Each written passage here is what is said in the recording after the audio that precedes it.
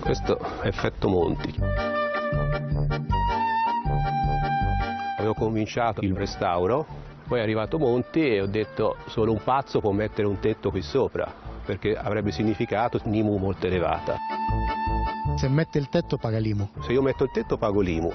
L'IMU, l'imposta municipale unica, è la tassa sugli immobili che ha sostituito la vecchia ICI.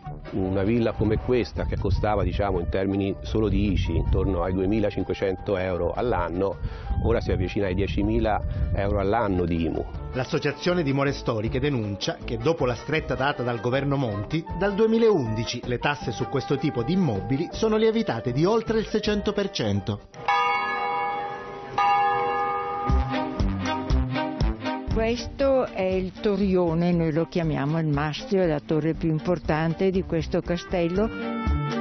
Voi siete proprietari da? Da circa un secolo. E così, dopo un secolo, una proprietà come questa, tra spese e tasse, può diventare un peso. Perché avete deciso di venderlo? Abbiamo 14 eredi. Basta? Ci stanno supplicando di non lasciare questa pesante eredità. Ma l'eredità può risultare pesante anche se al posto di un castello sei diventato proprietario di un terreno. Purtroppo in Italia siamo così, tu hai una proprietà che è un'automobile, una casa o un terreno e l'importante è pagare delle tasse. Si vedono, ci sono, tu hai una cosa e quindi dal momento che tu hai una cosa io devo avere. Dopo il via libera della Camera, la nuova IMU sui terreni agricoli è legge e molti agricoltori protestano. Ci spremono come degli agrumi, siamo tartasciati da tutte le parti. Ieri l'altro mi viene il proprietario di questo campo e mi dice, Sindaco, ma devo pagarvi il limo? No, uno scherzo? Dovreste essere voi a darmi un qualcosa per sistemare la frana? Devi pagare l'IMU. Terreni qua pagheranno l'IMU? Pagheranno tutti l'IMU, sì.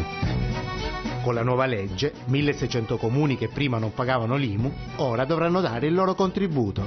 C'è bisogno di fare 260 milioni e questi 260 milioni, una parte, 167 mila euro, derivano dal comune di Travo con questi terreni. 260 milioni che verranno utilizzati per coprire in parte l'ormai famoso bonus degli 80 euro. La regione ci considera comune montano e invece lo Stato ci considera comune parzialmente montano. Se sei considerato comune montano, l'IMU non la paghi, ma se sei considerato parzialmente montano, le cose cambiano. Siamo a 1040 metri di altezza sul livello del mare e questo è un comune classificato come parzialmente montano.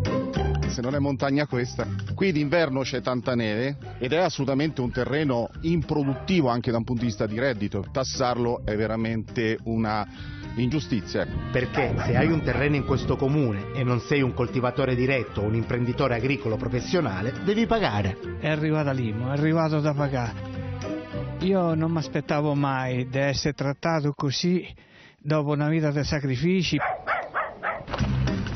Questo è un uliveto che per mantenerlo, oltre le mie fatiche, usiamo i soldi della pensione.